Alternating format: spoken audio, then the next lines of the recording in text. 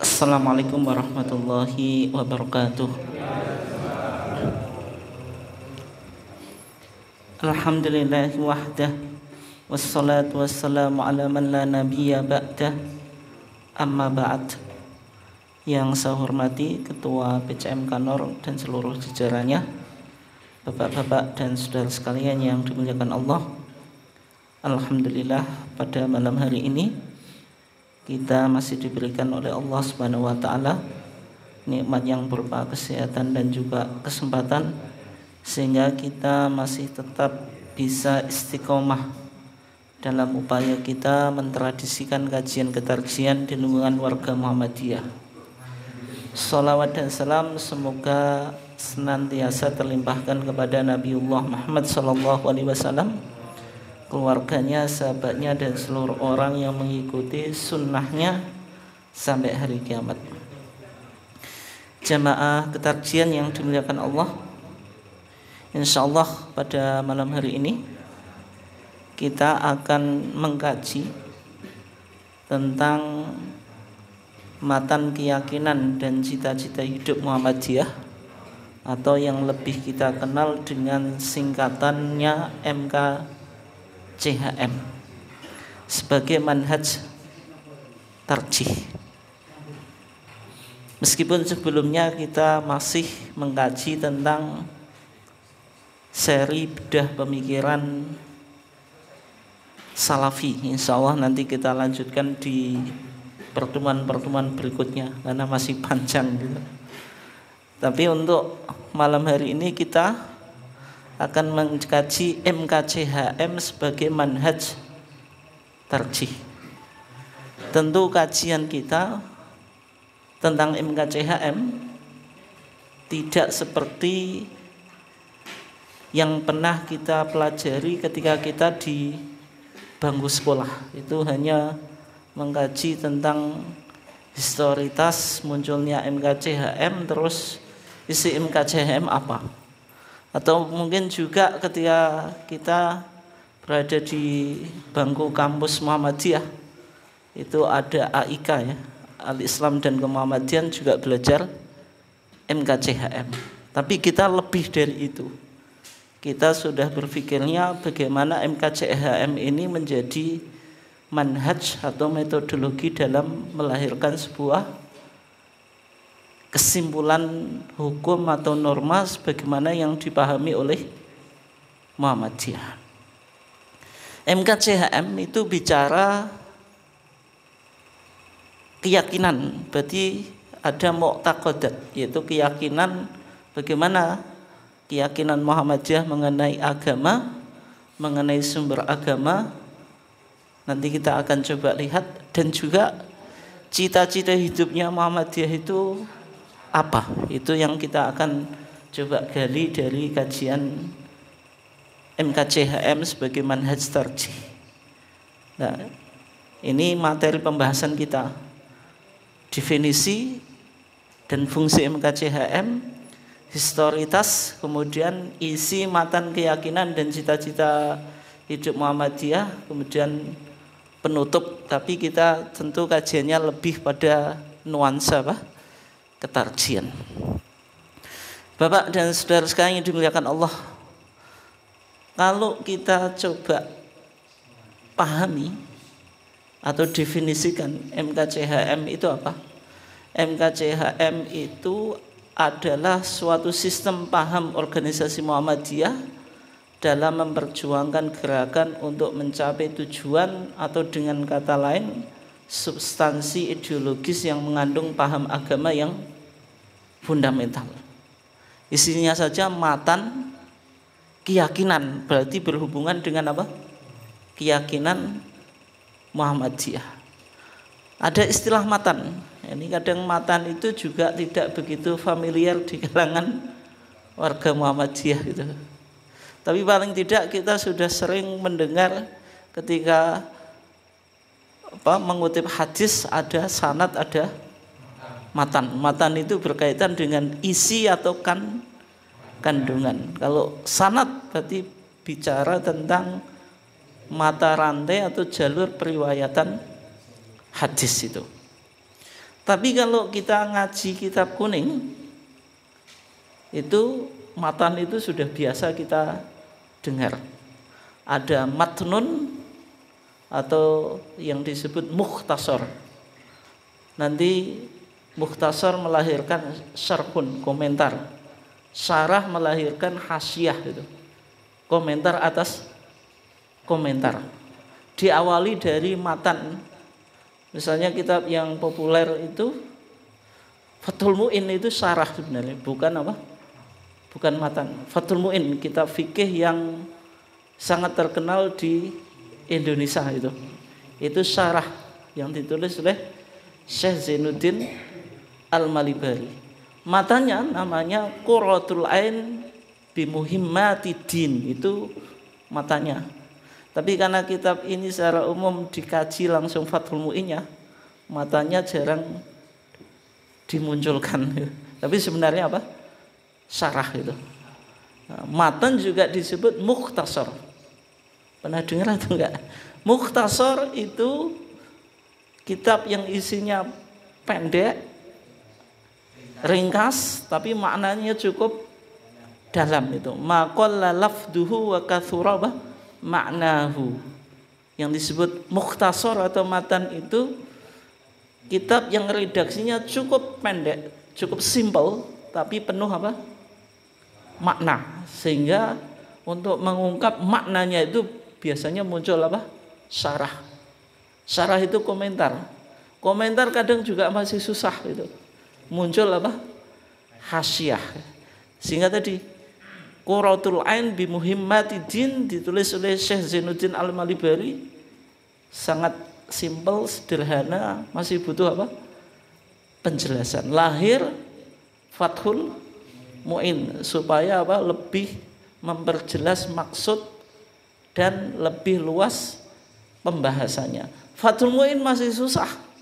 Lahir I'anatub Tohlibin yang ditulis oleh Sayyid Bakri Sato Ad-Dimyati yaitu termasuk Mahaguru Islam Nusantara sanat keilmuan NU lewat Sayyid Abu Bakar Sato Ad-Dimyati kemudian ke atas Syekh Zaini Dahlan dan seterusnya.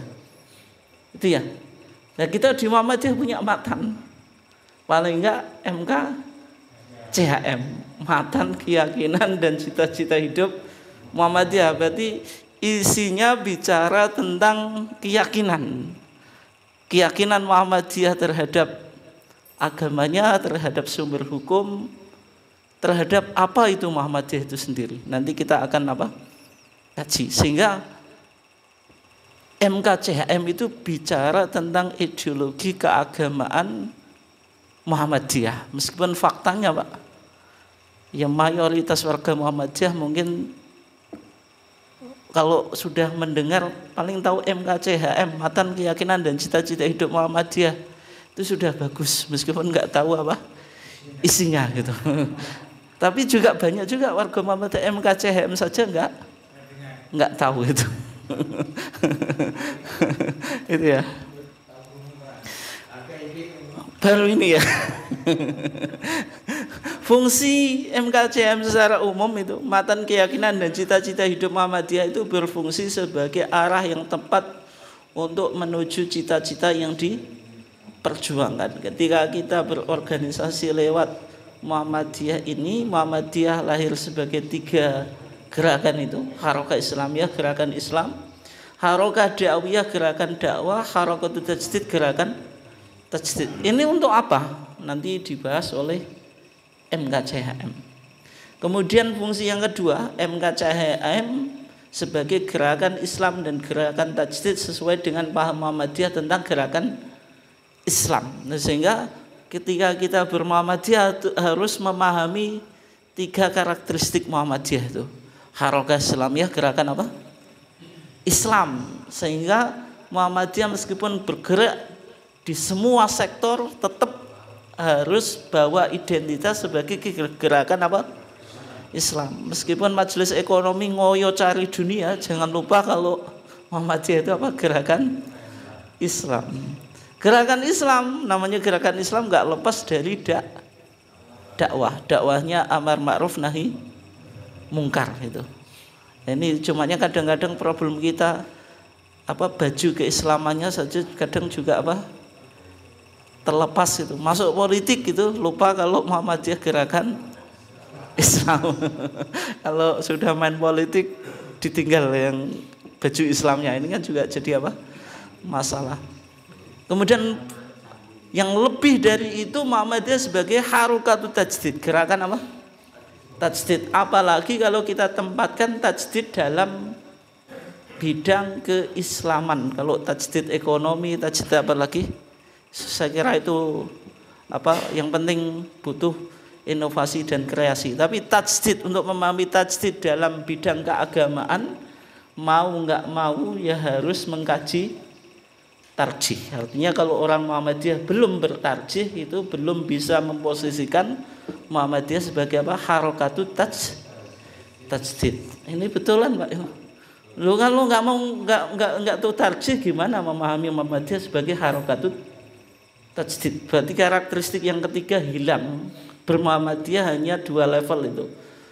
Gerakan Islam dan gerakan dakwah. Kan untuk memahami Muhammadiyah sebagai harokatut tajdid mau nggak mau ya harus tahu ketarjihan gitu. Tahu HPT, tahu TCA itu, itu ya. Oke. Secara singkat, Bapak dan Saudara sekalian yang dimuliakan Allah, bagaimana historitas perumusan MKCHM? MKCHM itu dirumuskan atau diputuskan di sidang Tanwir Muhammadiyah tahun 1969 di Ponorogo. Yang sebenarnya ini hasil rekomendasi Muktamar Muhammadiyah ke-37 tahun 1968 di Jogja. Berarti Muktamar Muhammadiyah ke-37 1968 merekomendasikan supaya apa dirumuskan tentang keyakinan dan cita-cita hidup apa Muhammadiyah karena ketika itu Muhammadiyah penting untuk melakukan retajdid pembaruan tajdid itu Tajdid itu sudah melekat di Muhammadiyah sejak Muhammadiyah apa? berdiri. Tapi tajdid ini harus tetap apa?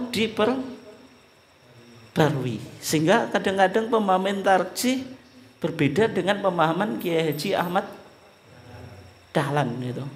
Yang sekarang rame-ramenya doa kafaratul majlis itu ya. Dengar atau enggak itu? Nah, karena Mbah Ahmad Dahlan ketika menutup majelis itu Allahumma arinal haqqo haqqo dan seterusnya kemudian wal asr itu. Bagi orang yang membaca tulisannya Bahi Ahmad Dahlan di SM ya ingin memahami ya sudah dikembalikan ke bagaimana Bahi Ahmad Dahlan menutup majelis. Tapi kan kita di Muhammadiyah ketika beramal harus berdasarkan Quran dan Sunnah ada atau enggak Pak? Hah? Mensunahkan sesuatu itu loh. Kalau menutup majelis Allahumma arinil haqqo haqqo atau arinal haqqo haqqo kemudian wal asrah ada atau enggak? Enggak ada. Jangan-jangan Bayi Amadalan hanya mengajarkan wal asr kemudian mengutip doa itu tapi tidak diyakini sebagai penutup maj majlis. Kalau saya ngajarkan wal asr mungkin Sebelum pulang kita ulangi surat yang kita bahas kan gitu saja memahaminya kan gitu nah, itu itu kan penting pak. Sehingga bisa jadi apa yang diajarkan oleh Bayi Ahmad Dahlan dengan pemahaman terjadi sekarang mengalami apa? Perubahan. Sehingga Muhammadiyah bukan Dahlaniyah. Tapi Muhammadiyah atau tarjih nggak bisa juga dipisahkan dari Mbah Ahmad Dahlan itu. Jadi Muhammadiyah bukan Dahlaniyah, tapi Muhammadiyah nggak bisa dipisahkan dari Kiai Ahmad Iya. nah itu. Yang kedua, Muhammadiyah penting untuk menguatkan ideologi ketika itu. Karena ber, berhadapan dengan politik orde baru yang melakukan di ideologi gitu. Mencoba melemahkan ideologi ideologi apa? Islam gitu. Nah, sehingga dibahas MK CHM.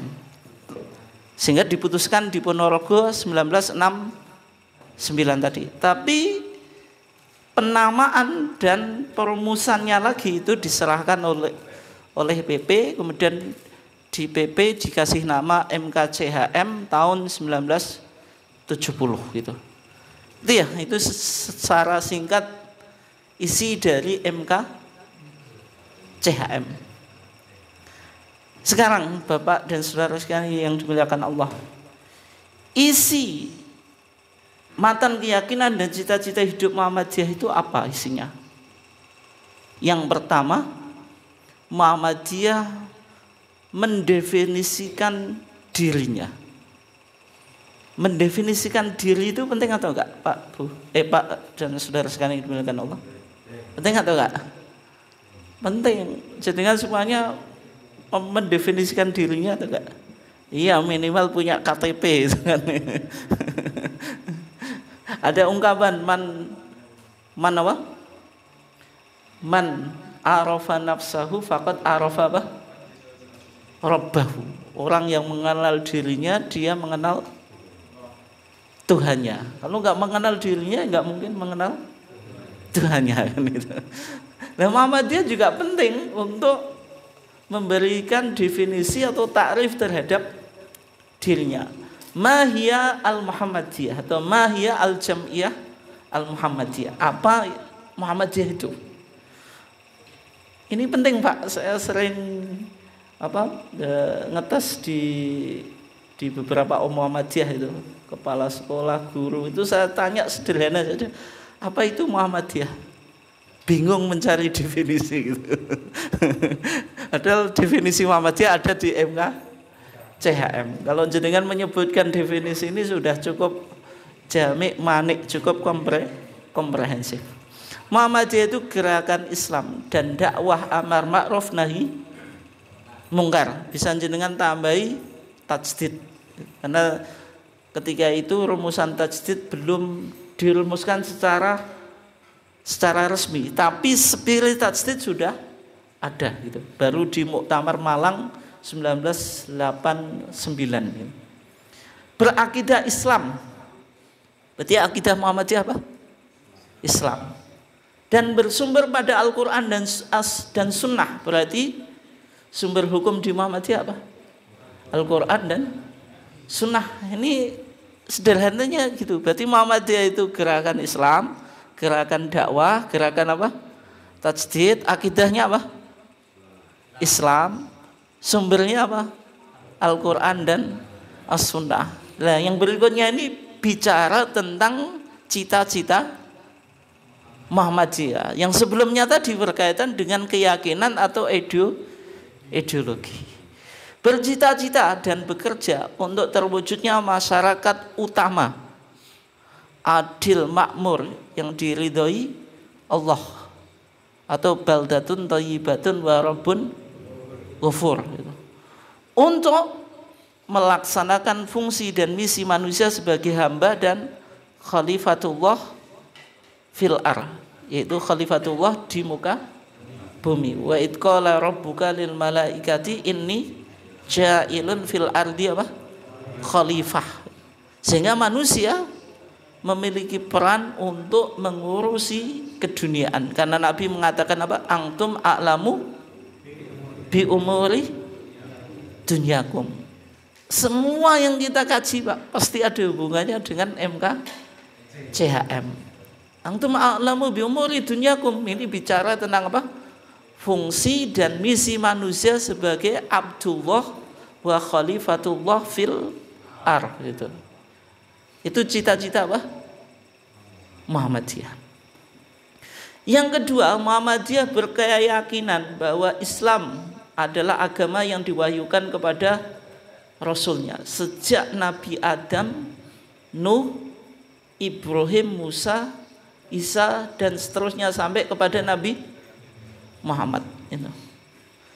Dimulai dari Adam sebagai apa? Manusia pertama.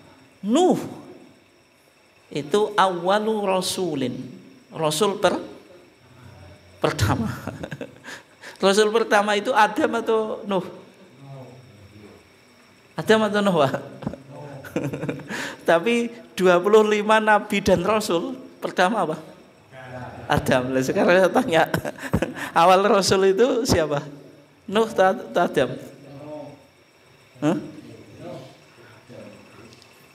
Adam Idris Pak ya Enggak, Nuh, Adam kan enggak.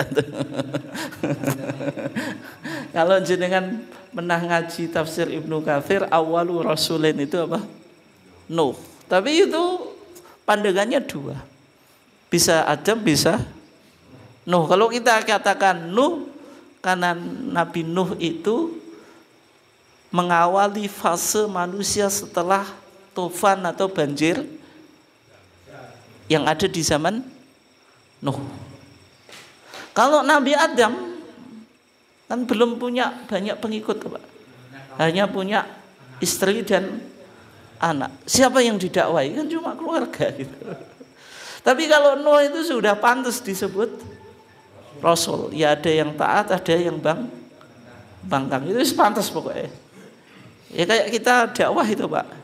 Nek dakwah ngajak ngaji tarji semuanya datang itu sudah selesai itu.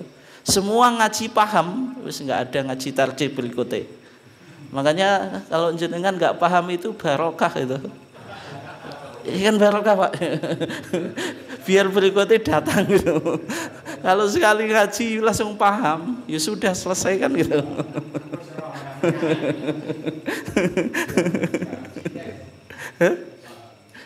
ya kan gitu pak ya. Jadi kalau kalau oh saya nggak paham, besoknya dikit-dikit paham itu besoknya wes malah nggak paham nih gitu. biasa aja gitu. itulah apa proses gitu. Ya. Nah sehingga di, di sini ditekankan Nuh. Nuh karena ada pandangan tadi disebut Rasul yang pertama. Ibrahim ini bapak para nabi kebanyakan nabi dari Bani Israel lewat Ishak.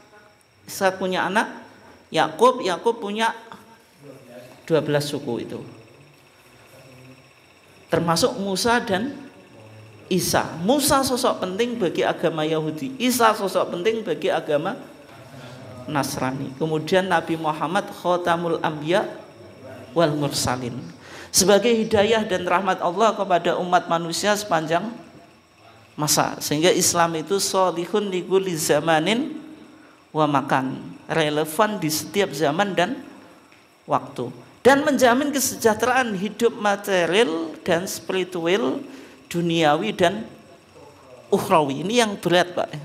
Jadi umat Islam itu idealnya ya Rabbana atina fidunya hasanah. Berarti orang ber, beragama semakin sejahtera itu. Idealnya gitu Pak ya Berarti semakin kita berislam ya semakin kaya, semakin makmur gitu. idealnya gitu idealnya. Waktu nikah. Kan Rabbana atina fidunya apa?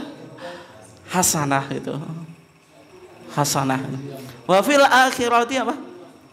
Hasanah ini berarti tidak hanya makmur sejahtera di dunia, di akhirat juga harus makmur, harus hasanah diperkuat. Wakina ada benar. Jangan sampai jenengan kepingin melbu neraka. Jangan punya cita-cita pak. Ya.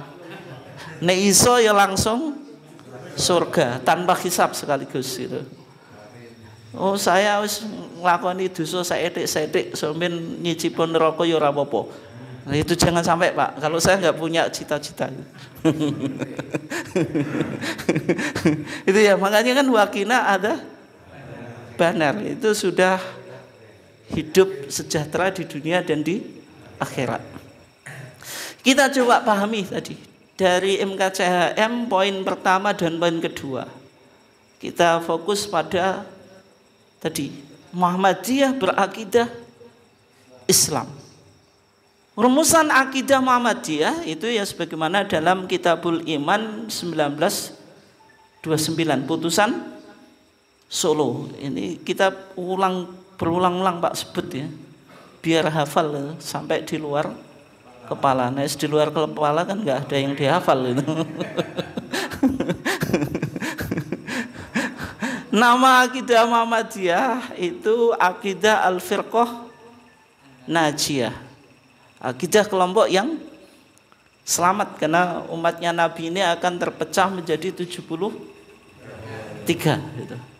Yang selamat itu satu, kulluha finnar illa wahidah. Semuanya di neraka kecuali satu. Berarti 72 di neraka, satu di surga. Wa ma hiya ya Rasulullah? Kemudian para sahabat bertanya, yang selamat kelompok yang bagaimana ya Rasulullah? Rasulullah menjawab, ma'ana alaihi wa ashabi. Kelompok yang beragamanya mengikuti manhaj salaf. Sehingga Muhammadiyah juga bermanhaj salaf. Kita sudah bahas ya. Muhammadiyah bermanhaj salaf tapi bukan salafi. Bermanhaj salaf tapi bukan apa? Bukan salafi sebagai kelompok yang sekarang Pak itu. Ada persamaan, ada perbedaan. Ahlul haqqi wa sunnah. Ini juga dipakai oleh Imam Ghazali di Kitabul Aqaid yang ada di Ihya Ulumuddin. Ahlul haqqi wa sunnah itu istilah bersama.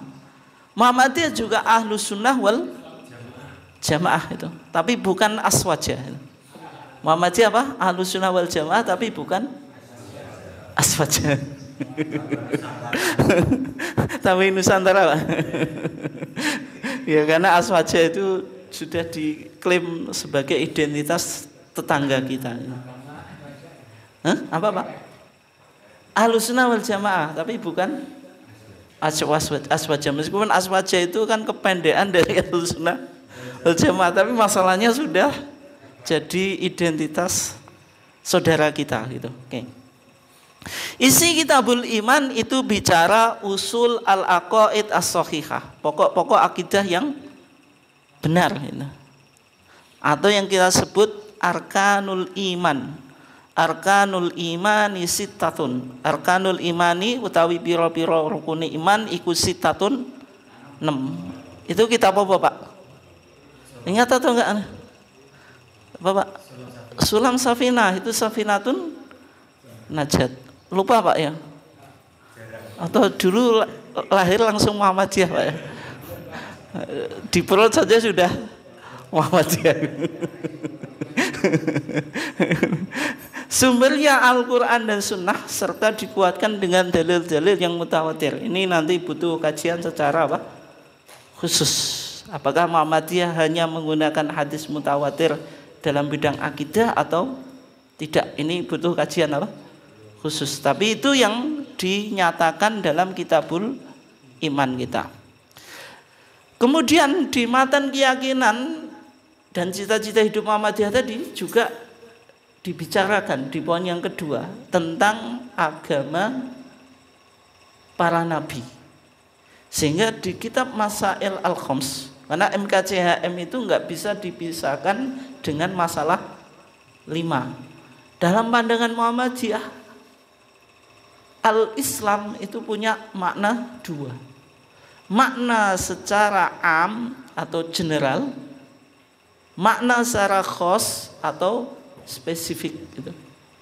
Islam bermakna am yang yang dua itu pak, yang nomor dua itu Ad-din huwa ma syara'ahu Allahu ala lisani ambiyaihi. Agama ini maknanya umum ya. Apa yang disyariatkan Allah melalui lisan para nabinya. Isinya tiga itu. Awamir perintah ada yang wajib, ada yang sunnah. Nawahi ada yang haram, ada yang makruh. Wa irsyadat, tapi ini yang menarik dari definisi agama menurut Muhammadiyah ada petunjuk sehingga agama tidak hanya dihubungkan dengan ahkam. Kalau awamir wa nawahi tadi kan hukum kan. Hukum lima itu loh. Wajib. Lawannya wajib apa? Haram. Atau diurut saja wajib, sunnah, haram, makruh terus mubah itu. Tapi Muhammadiyah menambah irsyad. Ada petunjuk. Tujuan agama ini penting Pak tadi. Lisolahil ibad dunyahum wa ukhrahum. Untuk membawa kemaslahatan hamba. Yang tadi Rabbana atina fid dunya hasanah tadi. Lisolahil ibad dun yahum. Tapi juga wa ukhrahum wa fil akhirati hasanah wa qina ada benar. Artinya orang beragama itu harus membawa kemaslahatan atau keselam, di dunia dan di akhirat. Ini Islam yang maknanya apa? Umum. Sehingga semuanya nabi itu apa? Muslim. Semua nabi apa? Muslim. Mulai Nabi Adam sampai Nabi Muhammad. Semua nabi membawa misi tauhid. Walau ba'athna fi kulli ummatin apa?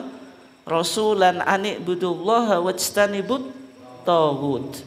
Sungguh kami telah mengutus di setiap umat rasul.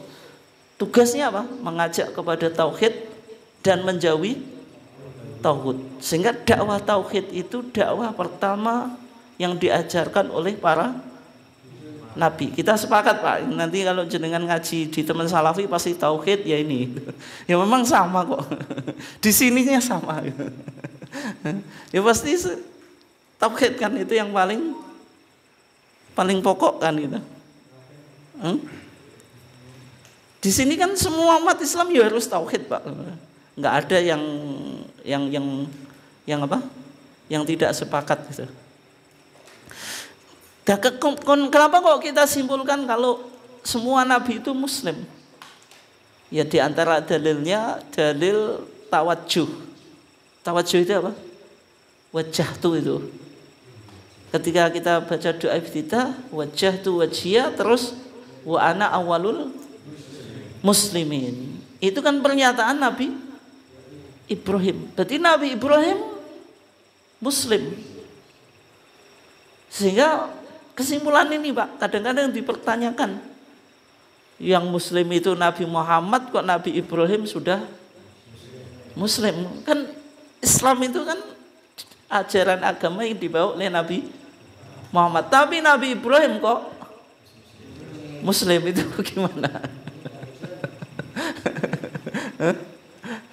bagaimana? Sehingga pemahaman kita ya semua Nabi itu mus Muslim. oleh sebab in, oleh sebab itu Profesor apa Pak Azhar Basir ya, dulu menganggap agama Kristen agama Yahudi itu bukan agama samawi. Kenapa? Karena semuanya nabi muslim. Sehingga Nabi Musa nggak pernah mengajarkan agama Yahudi. Nabi Isa nggak pernah mengajarkan agama Kristen itu. Itu ya. Dalilnya tadi wa ana awalul muslimin. Tapi Islam yang dibawa oleh Nabi ad-din ay ad-dinu al-islami alladhi jabi Muhammadun sallallahu alaihi wasallam ma anzalahu Allahu fil Quran wa ma ja'at bihi as-sunnatu as-sahihah. Ini yang paling pokok. Bicara tentang apa? Sumber ajaran agama Islam. Dalam pandangan Muhammadiyah sumbernya Al-Quran, yang kedua sunnah. Tapi sunnahnya disifati as-sahihah Kemudian dipertegas maksudnya al-makbulah. Mencakup dua hadis, hadis sahih dan hadis hasan. Hadis hasan tetap bisa dipakai. Takbir zawaid hadisnya doif karena doif doif menjadi hasan li tetap dipakai. Kalau enggak kita pakai hadis hasan Pak, nanti banyak amalan kita yang kita praktekkan tiap hari ternyata enggak ditemukan dalil hadis so, sohehnya. Ya, paling yang mudah tadi takbir zawaid itu kan sudah menjadi politik identitas sholat id itu. Kalau jenengan sholat id nggak pakai takbir zawaid itu rame pak itu. Imam lupa saja jamaah. Bisa rame itu. Enak sing ngajak baleni bareng pak. Padahal itu hanya sunnah ah Sunnah itu apa? Kalau ditinggal tidak disunahkan sujud sahwi. Tapi karena saking pentingnya ini seolah-olah kayak kayak wajib pak ya gitu ya, kayak misalnya saudara kita NU kunut itu sunnah abad. Kalau sholat tanpa kunut tetap sah. Tapi masalahnya jadi politik identitas. Itu kan masalahnya kan gitu. Kalau kunut harus dijaga. Kalau tumak nina padahal padahal yang rukun itu kuno atau tumak nina tumak nina tapi masalahnya tumak nina nggak pernah jadi politik identitas kunut yang jadi politik identitas. Oke kita lanjutkan ya. Ini poin ketiga dari MK CHM jadi poin pertama bicara apa Pak tadi? Masih ingat atau enggak?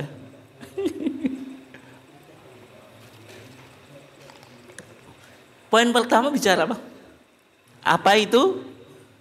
Muhammadiyah itu. Muhammadiyah gerakan Islam, dakwah amar ma'ruf nahi mungkar, berakidah apa? Islam. Berlandaskan apa? Al-Qur'an dan As-Sunnah dan seterusnya.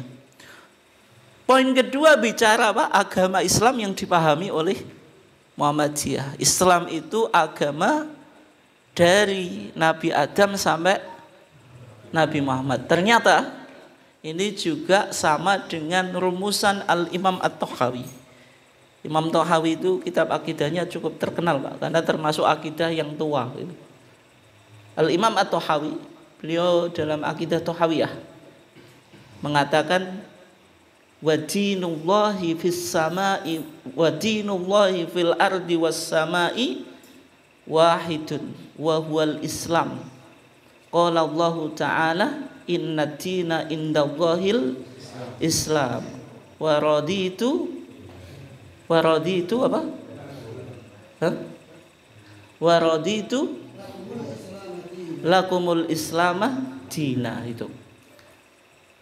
Agama Allah di dunia dan di langit itu satu. Wawal Islam yaitu agama Islam. Berarti agamanya semuanya nabi Islam. Makanya di hadis Abu Hurairah di hadisnya sahih ya.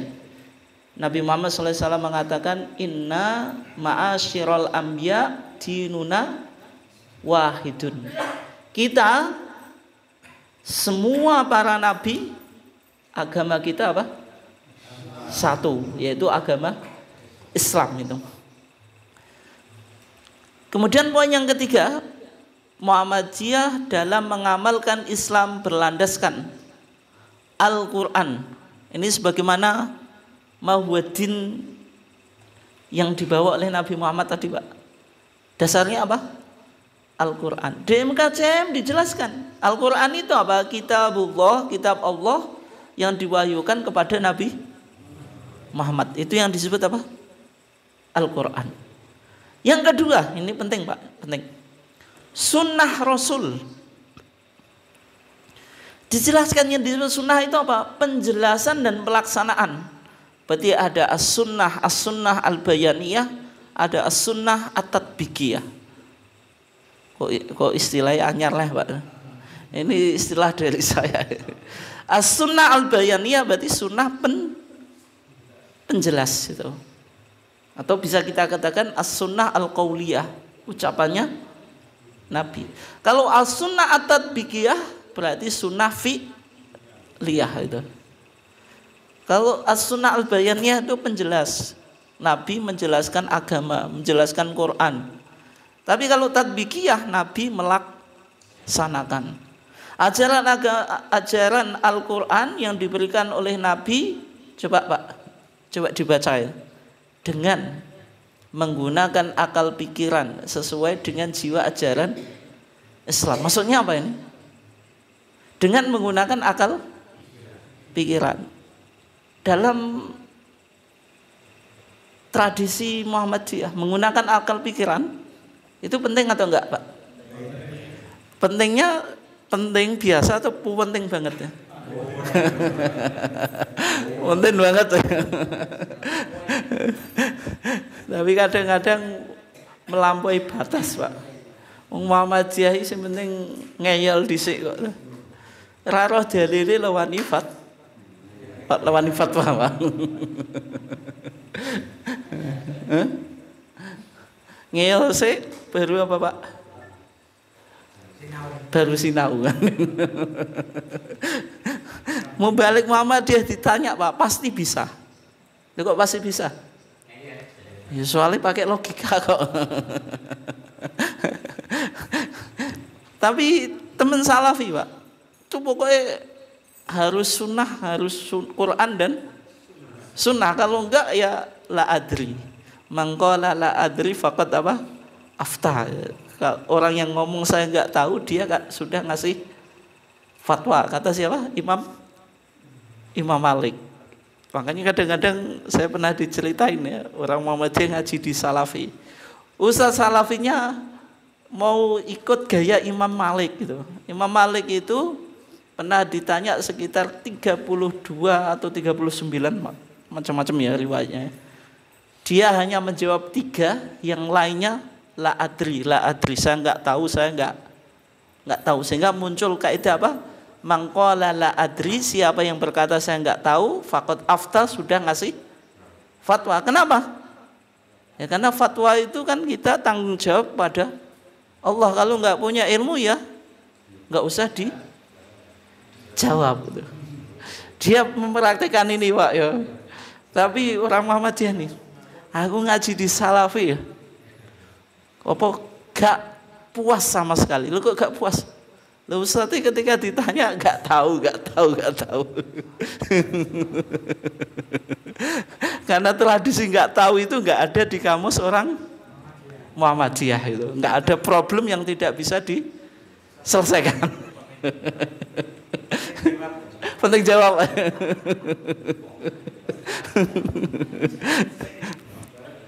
Gak maksudnya bagus pak. Kita kita di Muhammadiyah itu akal itu sangat penting. Dalam mahiyat dunia di kitab Masail Al-Khams dulu yang pernah kita kaji itu. Yang masih apa? Rumusannya Kiai Mas Mangsud ya, belum belum belum menjadi rumusan yang ada di HPT kita. Itu kan di, di sana dikatakan al aql yakunu nibrosan li tahsiniha wa takbihiha. Dalam urusan dunia yang menjadi media untuk mengetahui ini baik, ini jelek ya. Akal, menunjukkan akal itu sangat apa? Sangat penting dalam dunia dalam urusan keduniaan kan butuh kreasi dan inovasi. Itu peran apa, Pak? Akal itu. Itu.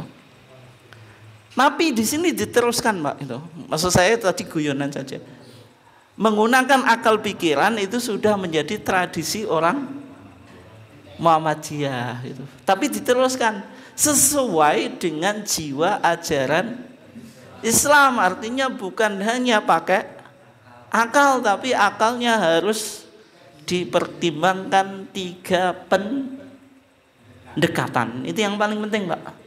Maksudnya dengan menggunakan akal sesuai apa Pak yang sesuai dengan jiwa ajaran Islam itu yang disebut ijtihad.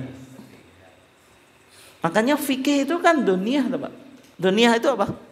Kita tidak bisa memastikan kebenarannya 100 persen. Misalnya menyentuh perempuan yang bukan mahram, batal wudhu atau enggak? Ya kita hanya berkesimpulan enggak batal berdasarkan hadis Aisyah berdasarkan pendapat Ibnu Abbas. Tapi apakah kita meyakini ini 100%? Tidak, aula mastumunisa itu secara bahasa yang menyentuh ya berarti kulit ketemu kulit. Sehingga kan kita nggak bisa mengklaim kebenaran. Tapi kalau kita memiliki sikap atau memilih pandangan itu ya harus itu. Kenapa? Karena ini kan masih tadi masih ada peluang benar, peluang salah. Makanya Imam Syafi'i sendiri kan ngomong, Ro'i sawab pendapatku benar, yahtamilul khoto ada kemungkinan salah. Wa ro'yu ghairi pendapat selainku khoto salah. Wa yahtamilu as tapi bisa potensi benar gitu. Itu wilayah apa? Fikih. Nah, maksud dengan akal pikiran sesuai dengan jiwa ajaran Islam itu disebut ijtihad. Setelah Muktamar Tarjih tahun 2000 di Jakarta, diusunglah tiga pendekatan. Ini penting, Pak. Di di apa? Di upgrading guru al-Islam dan kemuhammadian. Tiga ini orang-orang ngeluh, Pak. Apa yang disebut bayani, burhani, irfani, rata-rata ngeluh. Maksudnya apa? bayani pendekatan yang titik tolaknya dari Al-Quran dan As-Sunnah. Pokoknya jenengan kalau bicara cari dalil Quran dan Sunnah itu mesti bayani gitu. Berarti kalau kita bicara ibadah rata-rata pendekatannya apa? Bayani. Kalau burhani titik tolaknya apa? Akal pikiran dan ilmu pengetahuan. Nah ini peran apa? A? Akal. Sehingga agama tidak mungkin bertentangan dengan ilmu pengetahuan. Ketika agama bertentangan dengan ilmu pengetahuan, ada dua kemungkinan, Pak. Salah memahami dalil yang kedua, teori ilmu pengetahuannya yang sah, salah itu. Ibnu Taimiyah mengatakan, an-naqlu as-sahih la yu'aridu al-aqla as-sahih. Dalil yang benar, yang sahih tidak mungkin bertentangan dengan akal. Sehingga Muhammadiyah tetap menggunakan pendekatan ilmu pengetahuan dalam memahami agama. Meskipun sekarang ada kelompok yang berusaha untuk ilmu pengetahuan nggak penting gitu.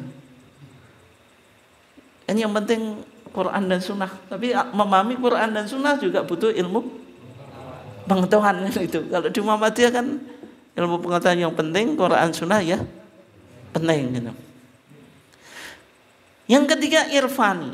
Irfani itu apa? Pendekatan hati nurani atau intuisi untuk memberikan makna filosofis atau spiritual. Dan tiga pendekatan ini dilakukan secara sirkular. Sirkular itu apa? Berputar. Terjadi sinergitas. Ada dialektika antara tiga pendekatan itu. Tapi semuanya tidak harus digunakan bisa jadi dalam merumuskan ibadah kita tidak menemukan burhaninya tapi hanya bayani contohnya contohnya Pak apa hubungannya kentut dengan wudhu coba pendekatan burhaninya dengan bisa menyimpulkan atau enggak bisa atau enggak yang yang yang kentut apanya Pak Hah? yang kentut duburnya. Yang dengan basuh mukanya. Itu berarti wilayah ta'abudi gitu. Ini kita bayani berarti. Pendekatannya apa? Bayani gitu. Tapi di beberapa hukum itu bisa dicari rasionalitasnya. Beberapa hukum bisa dicari apa? Rasionalitasnya. Ya kayak yang contoh kita contohkan kemarin. Zakatul fitri dengan uang itu takuli bisa dicari rasionalitasnya. Karena Nabi mengatakan bahwa tu'matan lil masakin. Yang penting kan mencukupi kebutuhan orang miskin bukan pada zat atau materinya harus makanan pokok. Kan itu kan gitu. Oke. Terus di MKJH ini pak bicara empat bidang ajaran Islam. Ini penting pak. Ini mapping pemikiran ijtihad Muhammadiyah. Kalau jenengan belum bisa memetakan empat bidang ini Pak, berarti gagal memberikan fatwa nanti atau dalam menyimpulkan sebuah hukum. Ada empat dimensi ajaran agama Islam. Yang pertama akidah, akhlak, ibadah, muamalat, duniawi. Ini sering kita sampaikan ya, tapi ini penting karena kalau kita nggak bisa memetakan, nanti pandangan kita ngelambiar nggak jelas itu. Hukumnya HP apa pak? Hukumnya pakai internet. Halal atau haram? Hah? Boleh. Kalau buat nonton film tidak boleh. Ya, nanti pandangannya kan macam-macam, Pak ini. Ya. Hukumnya perayaan HUT RI apa, Pak? Boleh atau enggak? Boleh atau enggak? Kenapa? Dunia ya. Tironan, Pak, tironan. Tironan ini ulang tahun. Boleh atau enggak? Lek jawab gak. Nanti gak tau tironan deh. Hukumnya apa? Huh? Kalau ulang tahun pakai kue tar terus niup lilin. Eh, sama ulang sama-sama ulang tahun kok hukumnya beda ya? Beda. nah, ini kan penting untuk memetakan itu. Nah, sehingga Muhammadiyah dalam apa Pak? Melihat sesuatu dipetakan dulu wilayah akidah, akhlak, ibadah atau muamalat dunyawiyah. Kalau kita lihat di dalam hadis Jibril, hadis Jibril ketika datang kepada Nabi menanyakan tiga perkara itu. Mal Islam, mal iman, mal ihsan. Ketika Nabi Muhammad menjawab mal Islam, itu lahir rumusan ibadah, Pak. Rumusan apa? Ibadah. Karena Islam itu syahadat, mendirikan sholat, membayar zakat, melakukan puasa dan haji kan melahirkan arkanul Islam khomsah itu rukun Islam yang lima. Tapi juga ada muamalat tapi dia syariah bukan duniawiyah. Maksudnya muamalat syariah itu sebenarnya interaksi dunia tapi sudah dijelaskan oleh syariat. Misalnya kalau riba itu ha, haram. Jual beli kan halal, tapi yang ribanya berarti sudah dibatasi, nggak boleh jual beli riba. Itu dibahas dalam ilmu fikih. Iman melahirkan arkanul iman sitatun, rukun enam, eh, rukun iman yang enam itu melahirkan ilmu apa? Akidah. Tapi di HPT kita di Kitabul Iman hadisnya itu nggak dikutip secara total pak. Coba nih ini kan cuma sampai Islam kan? Wa tahujjal baita in istata'ta ilai sabila qala sadaqta al hadis. Kalau al hadis itu maksudnya masih ada kelanjutannya. Rawahu Muslimun. Sehingga dari sini, Pak, bagi orang Muhammadiyah yang baca HPT, yang baca HPT loh, Pak, itu tidak menanyakan ihsan. Kenapa? Karena sama HPT tidak dikutip secara lengkap. Pemikiran ihsan itu nggak pernah ditanyakan. Padahal ihsan ini yang menjadi pondasi spiritualitas sehingga suasana spiritualitas, spiritualitas di Muhammadiyah itu sangat gersang. Diajak ngaji saja Pak mikir, aku ngaji waktuku hilang. Nah, saya bisnis berapa ribu ini yang saya apa yang saya hilang. Itu berpikir apa Pak? Dominan mana itu? Dominan akalnya dia kan. Dia nggak nggak nggak berpikir kalau ilmu itu mah mahal. Kemudian bisa jadi dengan jenengan ke sini mansalaka tariqan yaltamisu fihi ilman sahalallahu lahu tariqan apa? Ilal jannah untuk masuk surga saja mudah Pak, apalagi urusan keduniaan. saya di sini ini nggak muncul di Muhammadiyah gitu. saya sering dikomplain pak sama apa orang Muhammadiyah yang ngaji di Salafi di Muhammadiyah itu nggak pernah ngajinya ditampilkan hadis-hadis tentang fadilah ilmu Jadi saya katakan orang Muhammadiyah sudah melebihi batas eh melebihi melampaui apa melampaui salafi gitu. Mereka sudah tahu. Guyonannya gitu, Pak.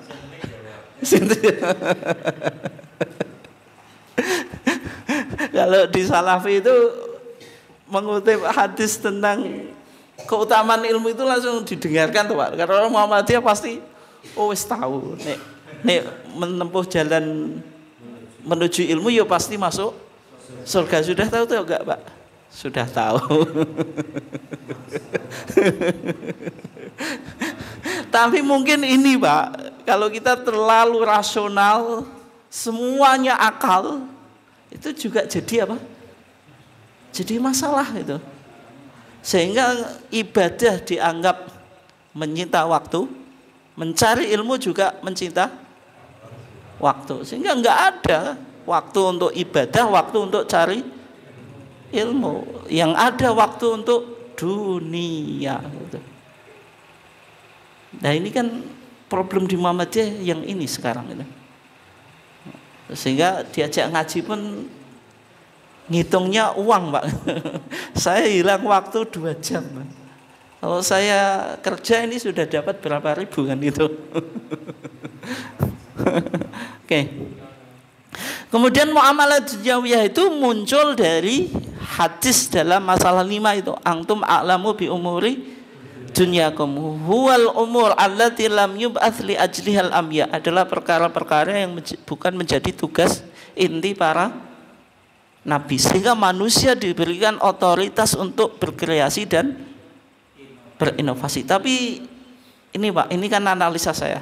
Kitab iman saya lupa menyampaikan. HPT tidak menampilkan pertanyaan tentang ihsan. Ini barangkali alasan kenapa warga Muhammadiyah jalan memperdalam kajian tasawuf atau spiritualitas. Tapi masalahnya ini yang baca HPT yang baca apa HPT dan punya HPT. Kalau yang nggak punya, yang lebih jauh lagi. Nggak pernah terpikir hadis Umar bin Khattab itu dikutip oleh HPT lengkap atau tidak. Barangkali hadis Islam dan iman saja juga nggak tahu.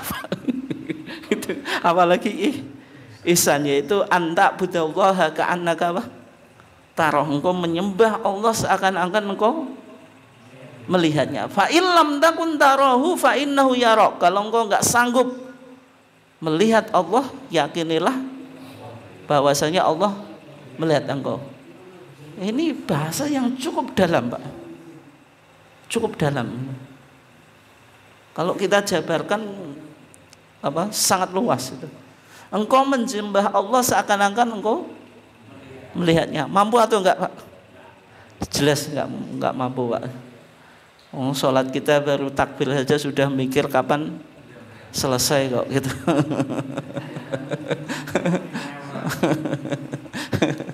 fa lam takun taroh fa yarok. Kalau engkau nggak bisa mampu, nggak mampu melihat Allah, yakinilah kalau Allah apa? Melihatmu ini makom muraqabah. Kita merasa diawasi oleh Allah. Oke, kita lanjutkan ya.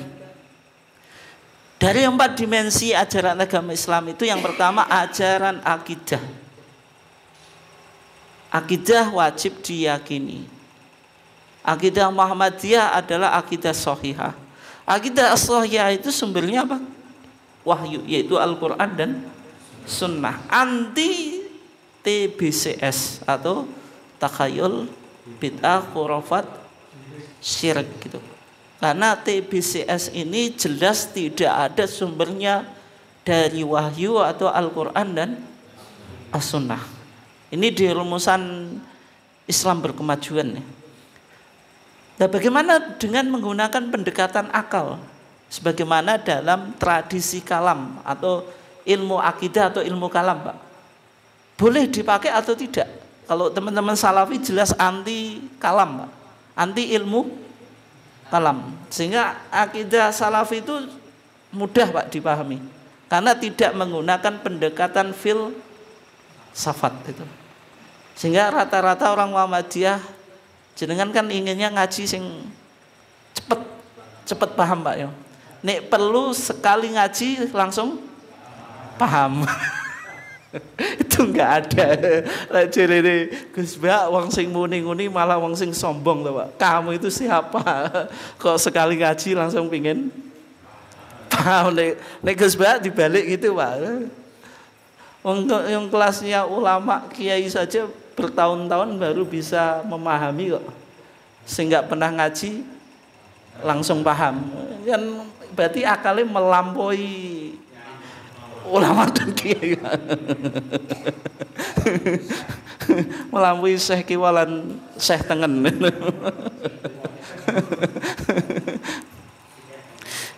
Nah tradisi kalam itu menggunakan pendekatan apa? Filsafat. Di Muhammadiyah boleh tapi syaratnya apa?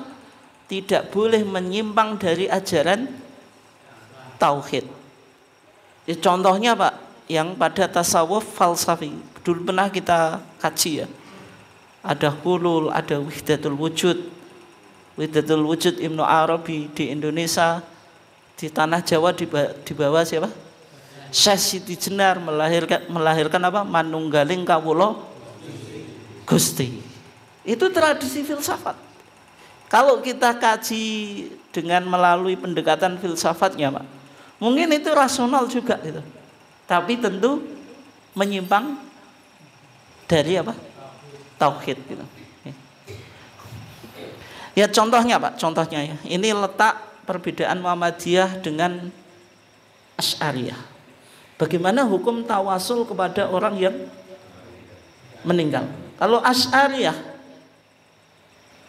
Ya, kita di, di sisi ini sama dengan salafiyah Pak, itu salafi kalau kita nggak membolehkan tawasul bil am wat tapi kalau salafiyah eh kakak kok salafiyah? Ya termasuk para pengkritik wahabi pak. Wahabi itu kan dikritik dalam konsep tasawuf tak tidak membolehkan tasawuf eh tahu tas, tasawuf tawasul dengan orang yang meninggal. Tapi di HPT kita coba wala taf'alu inda ma lam ya'dzan bihillah wa rasuluhu. Kita boleh ziarah kubur tapi nggak boleh melakukan sesuatu yang dilarang oleh Allah dan Rasulnya. Kadu'aikumul mayyita kayak meminta kepada mayit. Dan ini kita sepakat Pak antara Asy'ariyah, Salafiyah dan apa tadi? Asy'ariyah, Salafiyah dan Muhammadiyah gitu semuanya sepakat semuanya kalau minta langsung kepada orang mati tentu enggak boleh. Tapi yang diperselisihkan wat ilallah tawasul kepada orang yang meninggal boleh atau tidak? Kalau asyariyah aswaja itu Pak membolehkan tapi kalau kita di Muhammadiyah sama dengan salafi. Tidak membolehkan ya, kepada orang yang meninggal. Dan Bayi Ahmad Dahlan juga membaca kitabnya Ibnu Taimiyah At-Tawassul wal Wasilah. Ini kan titik kesamaan kita dengan Salafi. Sehingga HPT kita, Kitabul Janazah putusan 1936 kok tiga ya ya 36 di Muktamar seperempat Jakarta. Di sini apa? Diharamkan tawasul kepada orang yang meninggal. Termasuk tawasul kepada jah Nabi, Pak. Kedudukan Nabi. Yuk pujian-pujian kitab-kitab kuning itu rata-rata pakai tawasul kepada orang meninggal di antaranya kepada na Nabi itu. Ya Robi bil Mustafa balik makosidana itu tawasul kepada Nabi gitu. Padahal Nabi sudah meninggal. Kalau di Muhammadiyah tidak boleh. Berikutnya tadi di Risalah Islam berkemajuan kita boleh menggunakan tradisi kalam selama tidak menyimpang dari tauhid. Terutama di konteks modern, Pak. Apalagi kita itu sudah postmodern. Orang modern atau postmodern itu kan semuanya harus rasional, Pak. Kalau menjelaskan tauhid hanya sederhana, kalau berpikir yang aneh-aneh, oh kamu apa? Jatuh ke syirik. Terus apa, Pak? Didendeni kafe zindik gitu. Kan dia berakidah tapi apa, Pak? Nggak merasa puas. Masa saya suruh yakin sesuatu tapi yang menjelaskan nggak bisa meyakinkan. Sehingga Muhammadiyah apa tadi boleh menggunakan tradisi kalam, tradisi filsafat selama apa? Tidak bertentangan dengan tauhid. Contohnya, contohnya Pak. Di Al-Iman Billah Azza wa Jalla di kitab Kitabul Iman ya. Di sana dikatakan yajibu alaina an nu'mina billahi rabbina. Wajib bagi kita atau atas kita percaya kepada Allah Rabbina Tuhan kita. Wa huwal ilah al-haq alladzi khalaqa kulla syai' adalah Tuhan yang benar yang menciptakan segala sesuatu. Coba wa huwal wajibul wujud. Dia itu zat yang al-wajib al-wujud. Al-wajib al-wujud itu istilah kalam atau istilah Quran dan hadis, Pak. Kalam itu. Yang umumnya kan jenengan dia pakai itu kan Allah wujud, kidam, Bangkok dalam HPT kita pakai al-wajib al-wujud. Kalau jenengan ngaji di Salafi, Pak, al-wajib al-wujud itu bukan sifat Allah karena sifat Allah itu harus berdasarkan dalil. Dalilnya mana? Yang menjelaskan kalau sifat Allah itu al-wajib al-wujud. Ada atau enggak? Tidak ada. Tapi kenapa di akidah Asy'ariyah sifat 20 wajib bagi Allah itu diawali Allah wujud gitu. Atau itu yang disebut apa Pak? Sifat zatiyah atau nafsiyah. Masih ingat atau enggak Pak? Atau dulu enggak pernah belajar sekarang lupa ya? Sifat wajib bagi Allah kan 20 Pak. Itu kan dibagi empat ya sifat zatiyah yaitu wujud sifat salbiah terus apa sifat ma'ani terus sifat ma nawiyah masih ingat atau enggak lupa ya dulu enggak pernah belajar sekarang lupa gitu.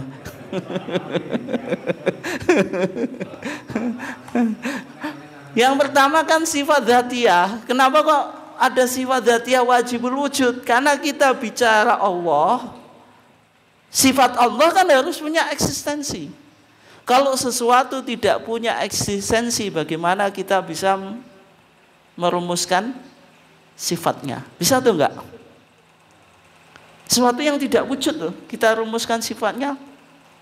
Bisa tuh enggak? Tidak bisa. You Tidak bisa. You Kenapa? Enggak punya eksistensi. Sehingga di HPT kita menggunakan istilah kalam yaitu al-wajib al-wujud. Kalau pandangan salafi Pak, ini enggak boleh. Enggak apa? Enggak boleh karena ini berdasarkan akal, tidak berdasarkan dalil. Tapi bisa kita temukan solusinya, Pak. Kalau kita katakan wajibul wujud itu mimba bil ikhbar. Kita ngasih informasi bukan mimbab al asma wasifat. Bukan termasuk bab asma dan sifat. Berarti kalau kita katakan Allah wujud itu ya hanya kita ngasih informasi berita karena kita bicara Allah Allah itu kan zat yang kita yakini apa Pak? wujud. Kalau kita tidak tetapkan wujud atau kita enggak apa? Khobarkan kalau Allah itu wujud ya berarti kan nanti kita bicara tentang sesuatu yang kita tidak tahu kan itu. Bisa dipahami ya? Nah, ini butuh perenungan mau ngaji baru dengar sekali saja kok suruh paham ya. ini, yang kedua sebelum kita tutup meskipun belum selesai ya. Nanti semakin saya tambah semakin ngeluh gitu.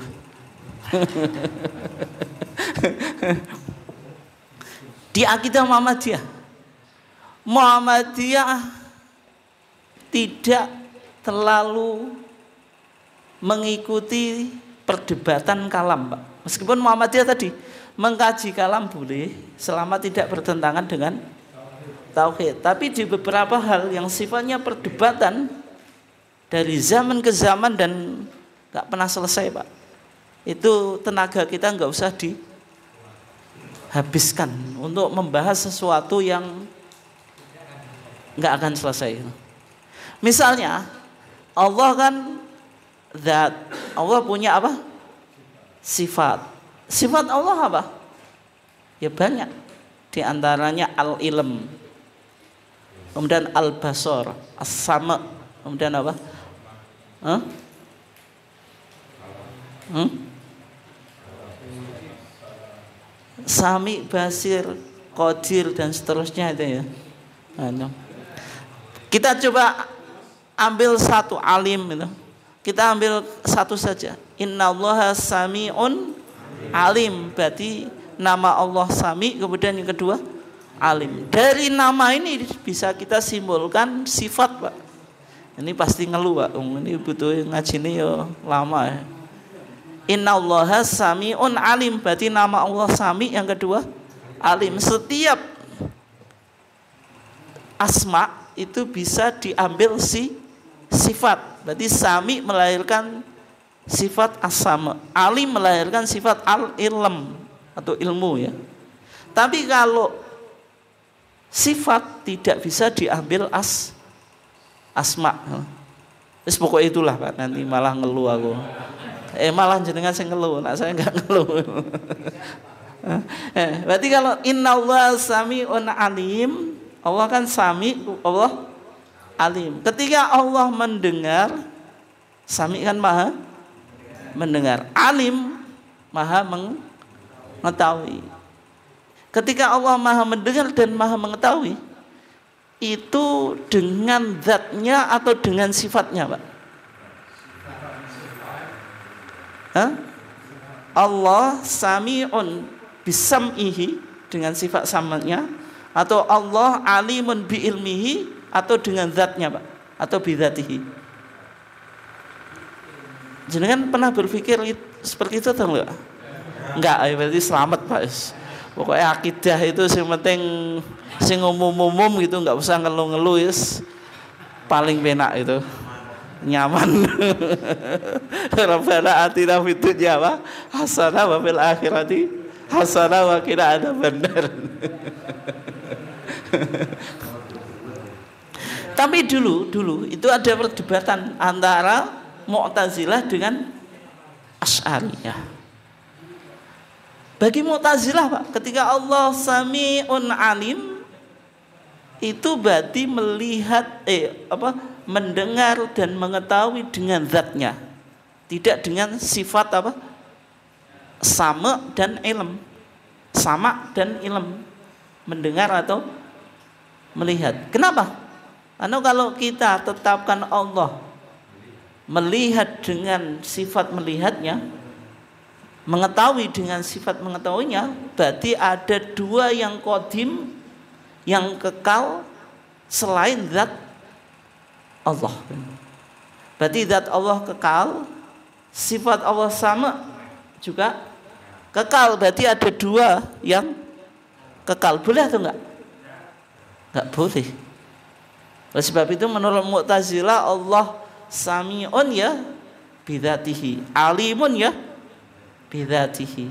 Oleh sebab itu Mu'tazilah nafyu as-sifah, menafikan, menegasikan sifat. Tapi kalau Asy'ariyah Pak, Wong Al-Quran bilang inna Allah sami'un alim Bilang semacam itu ya kita tetapkan Allah punya sifat As-sama dan Al-ilm gitu. Tapi nanti dibantah oleh Mu'tazilah. Oleh sebab itu Asy'ariyah merumuskan apa yang disebut dengan sifat Allah. Sifatullahi laisat apa? Bidzatihi wala hiya ghairuhu. Sifat Allah itu bukan zatnya juga bukan yang lainnya. Bisa dipahami, Pak? Kalau jenengan nggak bisa wajar. Tapi kalau jenengan bisa, kok sombongmu? Baru mendengar sekali kok langsung paham maksudnya apa? Maksudnya ini contoh ilustrasi saja pak. Kertas itu warnanya apa? Putih umumnya loh pak umumnya. Saya bicara saya cuma ingin mendekatkan. Contohnya kan nggak harus persis. Kertas itu umumnya putih. Tapi apakah setiap kertas putih pak Tidak. Apakah putih bisa apakah kertas bisa dilepaskan dari sifat putih secara umum? Kan juga ti tidak. Oleh sebab itu, sifat Allah itu bukan zatnya, tapi juga bukan yang lainnya. Bisa dipahami atau enggak? Artinya apa? Sifat itu bukan zat, tapi dia enggak bisa lepas dari zat. Pusing atau enggak? Pusing. Nah daripada pusing ikuti akidah Muhammadiyah gitu. Coba coba. Akidah Muhammadiyah bagaimana? Maka lafanallahu bil bahthi fil i'tiqad bima la tasilu ilaihi uquluna. Allah enggak membebani kita untuk mengkaji tentang akidah yang akal kita enggak bisa menjangkaunya. Li'anna aqlal insan la yastati wa yasila ila ma'rifati dzatillah karena akal manusia itu enggak sanggup untuk mengetahui hakikat zat Allah wa kaifiyati bisifatin dan bagi mana Allah memiliki sifat. Coba fala tabhath anhu. Nggak usah dibahas. Makanya akidatul awam itu penting Pak. Makanya semakin nggak paham semakin ba bagus gitu. Tapi nggak paham yang didasarkan ilmu Pak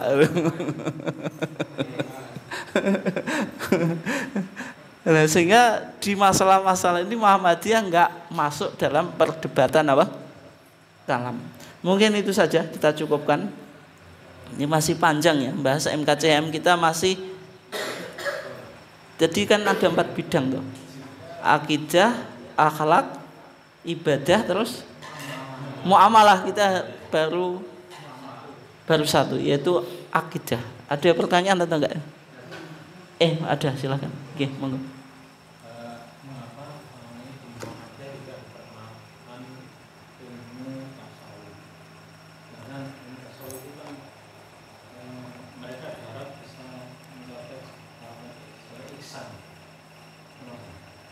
Ya. Kalau kita melihat pernyataannya Profesor Amin Abdullah yang sering dikatakan liberal itu pak. Tapi kadang-kadang pemikirannya progresif pak. Cuma kadang-kadang ya ya itulah itu. Beliau mengatakan kalau kita bicara ihsan tasawuf di Muhammadiyah itu sangat gersang. Nggak muncul. Apalagi Muhammadiyah tadi lebih dominan bayani dan burhani itu. Burhani itu akal wis pokoknya ejak ngaji yo ki oleh duit to gak wis. Burhani itu. Bayani tekstual semuanya dibid'ahkan. Ya.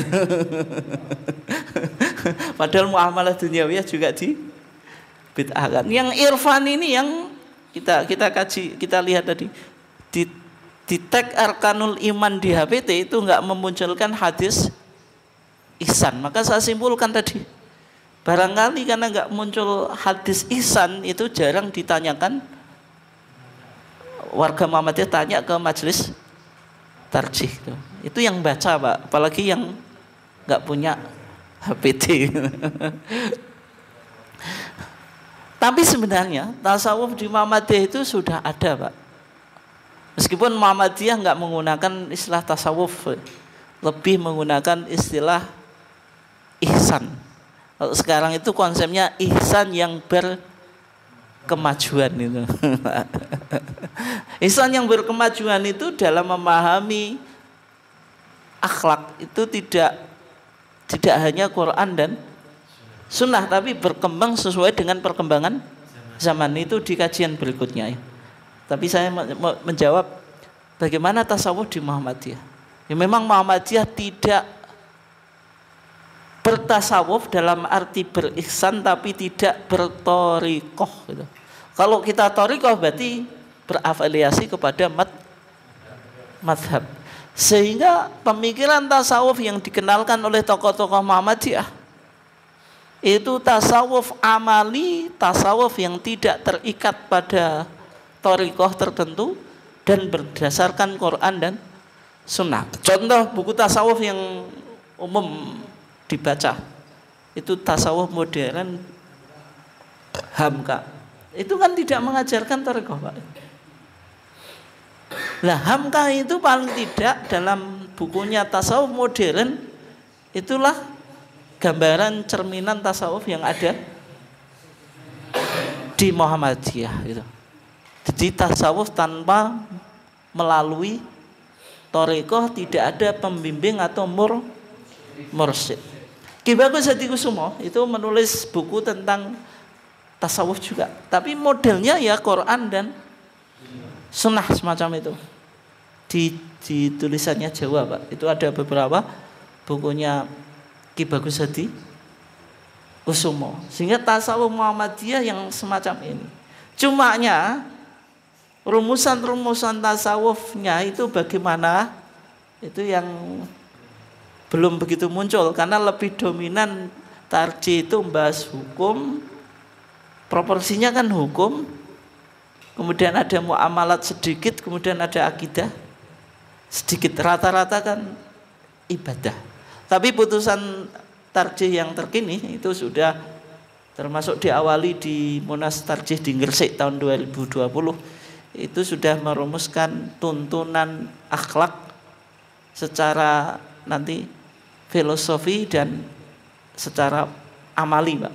Nanti ke depan apa akan muncul tentang apa tuntunan akhlak. Tapi tuntunan akhlaknya ya pasti Quran dan sunnah tidak menggunakan pendekatan-pendekatan yang sangat apa filosofis itu. Itu. Tapi sebenarnya Pak, tradisi tasawuf itu penting gitu, penting ya. Tapi tentu tasawuf yang sesuai dengan Quran dan sunnah. Karena kalau kita tidak masuk di situ, ya kita beribadah tapi tidak ada rohnya gitu. Hanya fikih saja kan kurang mengena, gersang gitu. Oke. Mungkin itu saja. Nanti bisa kita kembangkan di ini kan baru akhlak eh baru akidah. Nanti akhlak terus ibadah terus muamalat ya Kurang lebihnya mohon maaf. Wassalamualaikum warahmatullahi wabarakatuh.